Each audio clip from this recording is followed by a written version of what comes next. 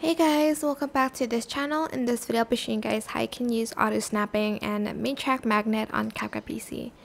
So what it basically is, is when you place a video next to each other, it's going to snap in place.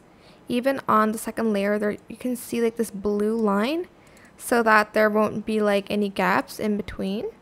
Well, you can place it like this, but you, you'll be able to see it here. If you do disable it, it won't snap in place and it will be kind of like this. But you can enable that. And main track magnet is again if you want to snap this on the like first like second you have to like turn it on and it will snap onto the main track but if you don't want it you can just um, disable it and you can move the videos freely so again, if I enable this, it will just snap in place. And again, if you enabled the auto snapping, it will just enable this blue line to make it easier. I hope this tutorial was helpful for you guys. Don't forget to like, comment, share.